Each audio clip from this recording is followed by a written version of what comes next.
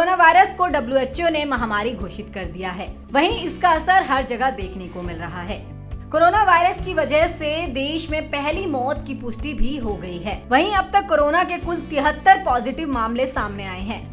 देश और दुनिया में इस वक्त इस बीमारी की वजह से चिंता का माहौल है।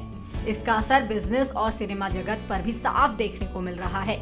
कोरोना वायरस पर सदी के महानायक अमिताभ बच्चन ने भी अपना रिएक्शन दिया है। अमिताभ बच्चन एक्टिंग के अलावा सोशल मीडिया पर भी काफ़ी एक्टिव रहते हैं। हाल ही में उन्होंने कोरोना वायरस को लेकर ट्विटर पर अपनी राय फैंस के साथ शेयर की।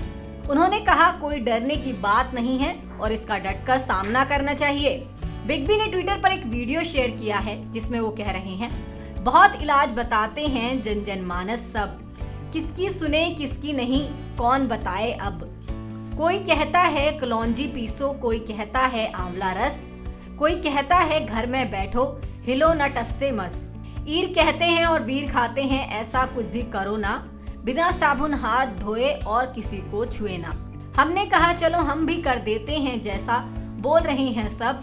आने दो करोना वरोना, ठेंगा दिखाओ तब। कि बहुतेरे इलाज बतावें, जन जनमानस सब। बहुतेरे इलाज बतावें जन जनमानस सब, केकर सुने केकर नाही, कौन बताई सब? क्यों कहस कलौजी पीसो, क्यों आंवला रस? क्यों कहस कलौजी पीसो, क्यों आंवला रस? क्यों कहस घर में बैठो हिलो न ठस से मस?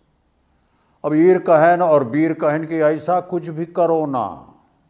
ईर कहन और बीर कहन कि ऐसा कुछ भी करो ना। बिन साबुन के हाथ धोई के केहू का भैया छुओ ना। हम कहा, चलो, हम कर देते हैं। जैसन बोलें सब। हम कहा, चलो, हम कर देते हैं। जैसन बोलें सब। आवे देव करो ना फिरो ना ठेंगवा दिखाओ तब। आपको बता दें, इससे पहले भी अमिताभ बच्चन हमेशा ही हर छोटे बड़े मुद्दे पर अपनी राय सोशल मीडिया पर रखते आए हैं। वहीं फैंस को भी उनकी नए अपडेट्स का हमेशा ही बेसब्री से इंतज़ार रहता है। बिग बी के वर्क फ्रंट की बात करें तो अमिताभ बच्चन की अपकमिंग फ़िल्मों में गुलाबो सिताबो चेहरे और झुंड जैसी फ़िल्में शामिल हैं। वहीं अगर हम कोरोना वायरस की बात करें तो दिल्ली से पहले केरल और जम्मू में सिनेमाघरों को बंद करने का ऐलान किया गया था। इसके चलते कई फ़िल्मों की रिलीज़ डेट भी टल गई है। अक्षय कुमार की फ़िल्म सूर्यवंशी, जो पहले 27 मार्च को रिलीज़ होने वाली थी, उसकी रिलीज़ डेट भी चेंज कर दी गई है। कोरोना वायरस के खतरे को देखते हुए पब्लिक गैदरिंग से दूर रहने की सलाह दी जा रही है। वहीं भारत में कोरोना के अब तक 70 से ज़्यादा पॉजिटिव मामले सामने आ चुके हैं।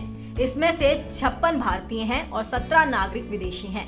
दिल्ली में कोरोना वायरस के अब तक कुल छह मामले पॉजिटिव पाए गए हैं। एचएस न्यूज़ के लिए प्रीति राजपूत रिपोर्ट। देश और दुनिया से जुड़ी सभी प्रमुख खबरों के लिए हमारे चैनल को सब्सक्राइब करें और लेटेस्ट वीडियो पाने के लिए बेल आइकन को ज़रूर दबाएँ। साथ ही हमारे वीडियो को लाइक और शेयर करना ना भूलें।